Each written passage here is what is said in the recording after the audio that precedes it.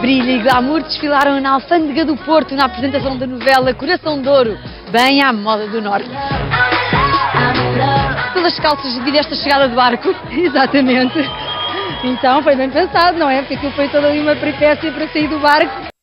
Levanta aqui, pisa atrás, hum, a mala, bom, é um bocadinho complicado. Duas ou três vezes eu pensei, ai meu Deus, não vai acabar bem.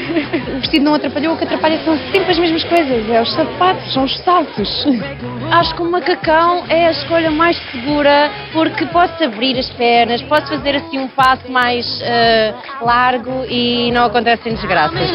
O Porto inspirou-te para escolheres o look desta noite? É, o, tom, o tom diz tudo, não diz? Por acaso, ajudou. É feminino, não é girly, mas tem um toquezinho de gala. Buscar um topzinho ali, fui buscar uma sainha acolá, olha, e fiz a minha, a minha fatiada.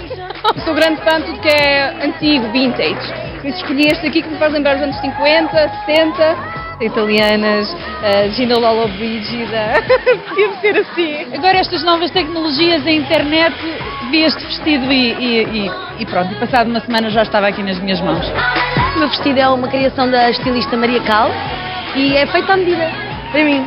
Nuno Baltazar Sora, é ali que são sapatos e esta filigrana fantástica que é da pura filigrana. É um look, enfim, mais étnico da Rosalind Silva. Ela opta sempre por estes tecidos, ou quase sempre por estes tecidos fora do comum, mas sempre com um ar de sofisticação.